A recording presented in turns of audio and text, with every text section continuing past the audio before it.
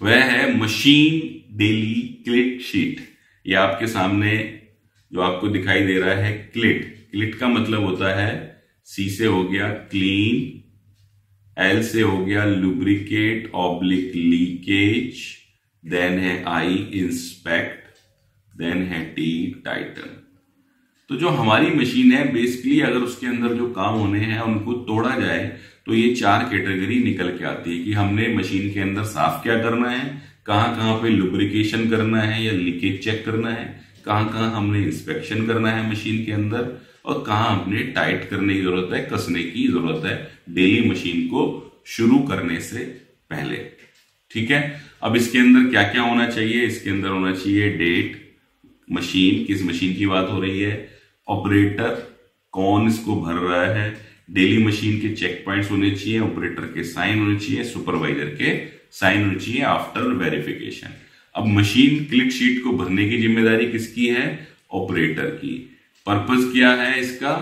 Autonomous maintenance की। स्वयं जो है मशीन मेंटेन रहे, अगर उसको हम डेली मेंटेन रखें। जैसे कि हम बाइक वगैरह अगर अपनी डेली क्लीन रखें तो वो ज़्यादा लंबे समय तक चलती है साफ़ सुथरी रहती है, खर्चा कम मांगती है। वहीं हम उसको बस रगड़ते रहें तो रास्ते में कहीं भी ले जाकर के खड़ा कर देगी। अब इसका फॉर्मेट देख लेते हैं। मेंटेनेंस क्लिक शीट का फॉर्मेट कैसा दिखता है? स्क्रीन के ऊपर आपके मेंटेनेंस चेकलिस्ट यानी कि डेली मशीन चेकलिस्ट कुछ लोग इसको क्लिक शीट भी कहते हैं, उसका फॉर्मेट आ चुका है।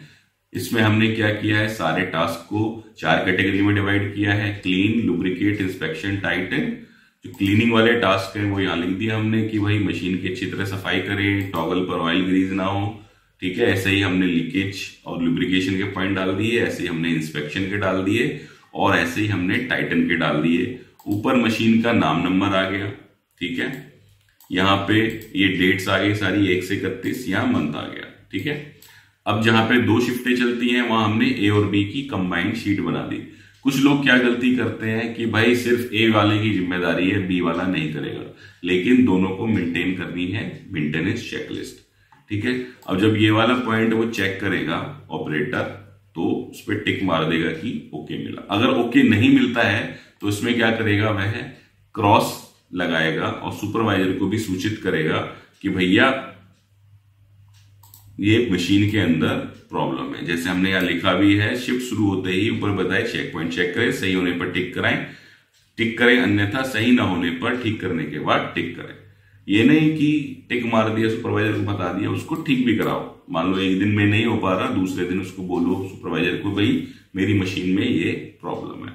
तो इस तरीके से मशीन मेंटेनेंस की डेली चेकशीट आप लोग तैयार कर सकते हो। और लगी कहा होनी चाहिए मेंटेनेंस चेकलिस्ट ये मशीन के ऊपर लगी होनी चाहिए। भरने की ज़िम्मेदारी किसकी है?